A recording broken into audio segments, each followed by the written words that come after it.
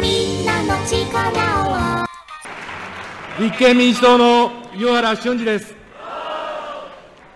2009年、民主党政権はチルドレンファースト、子育て教育予算の拡充を訴え、少子化対策、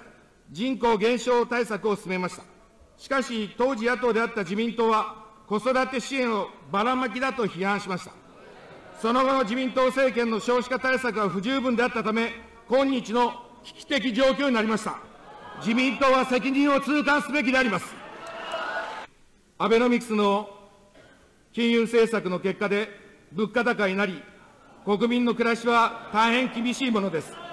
特に地方は人口減少も相まって厳しい環境に置かれています。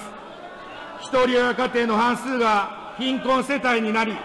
学校が休み中にはご飯が菓子パン1個、おにぎり1個の家庭もあると聞いています。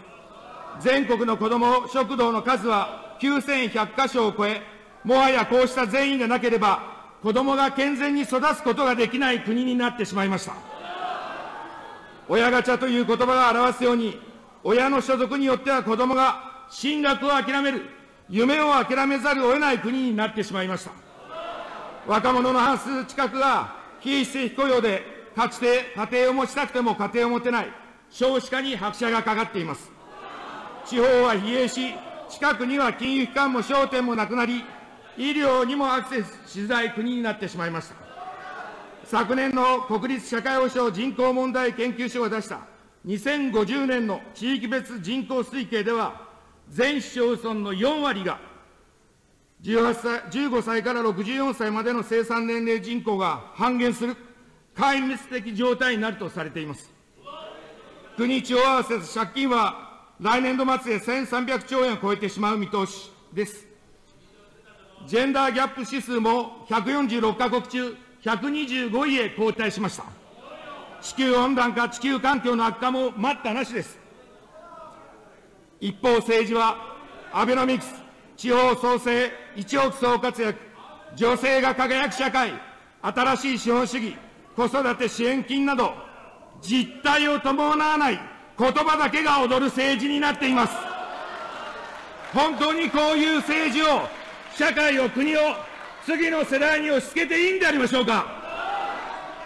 放置や無作為は許されません。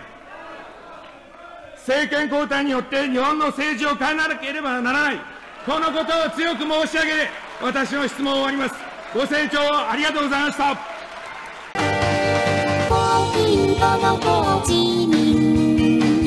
みんなめてうち